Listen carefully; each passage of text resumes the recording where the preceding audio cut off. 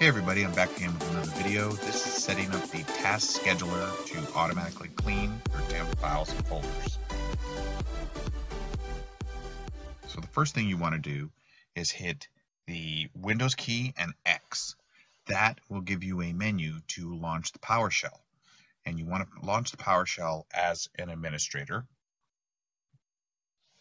And then type in C-L-E-A-N M gr.exe space forward slash s a g e s e t colon one. Going to do is basically create a registry entry once you've selected the settings in which your disk cleanup will be, um, I guess, configured for. So you pick, you know, whatever files and folders you want it to go through and delete any unnecessary files. Um, and when you do it this way, it actually gives you a lot more options than just right clicking and going to uh, the disk cleanup application. So you can do a lot more uh, files and systems this way. Now, I didn't want to pick the recycle bin because sometimes I delete stuff and, you know, or I could delete stuff on accident and then not remember to restore it. And so I wanted to still leave that as manual.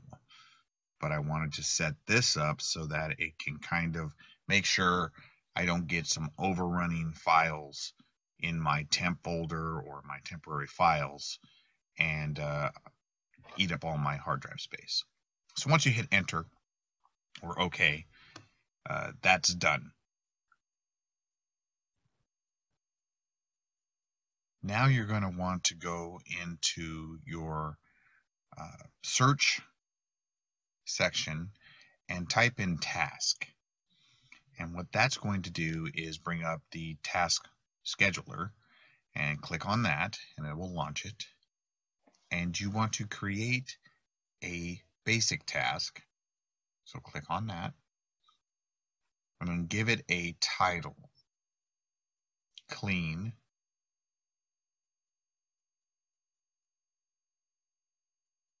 temp files and then I'll give it a description of automatic clean up on schedule. Click next and now you can select between daily, weekly, monthly, a one-time event, every time the computer starts, when you log in, or if a specific event happens. I'm picking monthly, so I'm just going to have it happen every month and I am going to put the first of every month.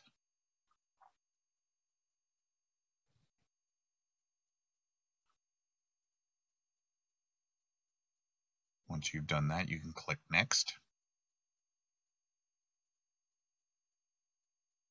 And then start a program. And then your argument is basically the program that you want to run and then any additional arguments or uh, settings that you want to uh, do. So I find the fastest way to bring stuff up is to start spelling it out in the file name and then selecting it.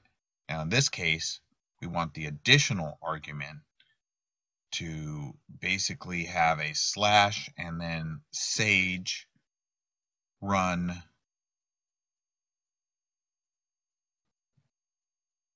colon 1 that's going to allow it to run each time on the schedule uh, from that registry entry that you did earlier.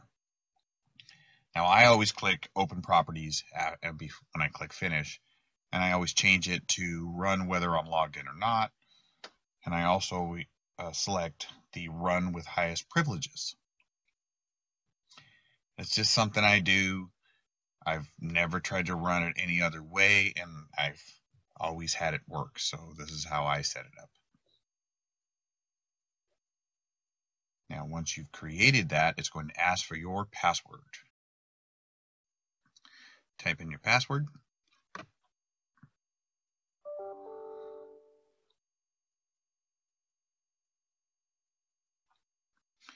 And now, if you right click on it, you can actually select it to run now.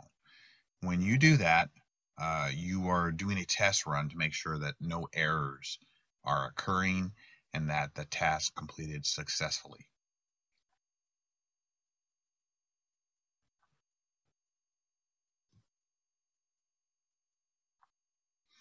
Now I'm going to go into my uh, Windows temp folder and going to see if anything has changed. So as you can see right in front of our eyes, some stuff got deleted. Um, so I know that the task completed and anything else in there looks like it's nominal and not needed.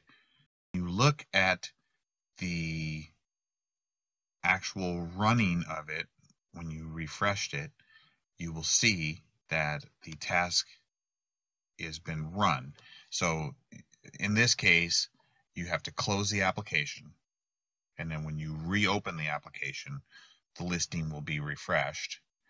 So just type in task again in your search. And now you'll see that the clean had a time.